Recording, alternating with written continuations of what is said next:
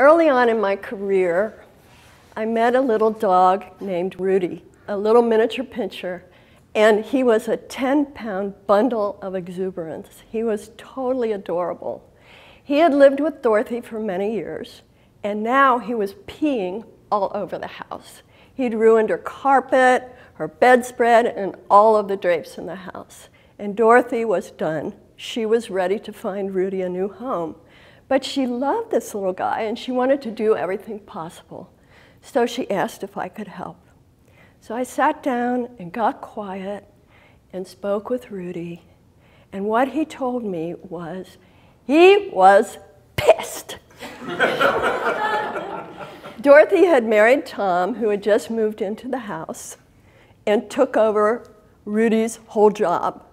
Dorothy was his woman, and he was her protector and her companion. And now this strange guy moved into the house and took over everything.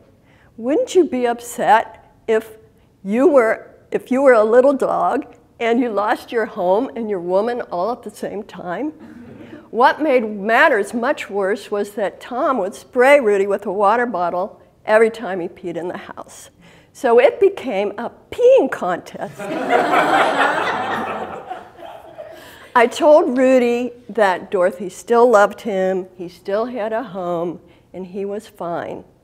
But he had to stop peeing right now or he was out.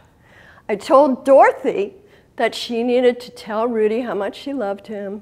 Everything was fine as long as he behaved.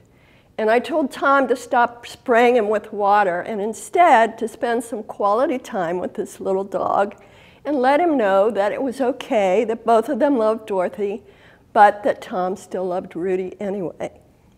Well, Rudy stopped peeing in the house immediately. And Dorothy told me after the fact that her relationship with Rudy had changed completely after this session. She now saw him as not just a little dog, but a full member of her family, that he was an intelligent, conscious being, and she treated him like her child, like a real person. This, for me, was clear evidence that I was able to converse with animals and affect change. So this was really huge for me.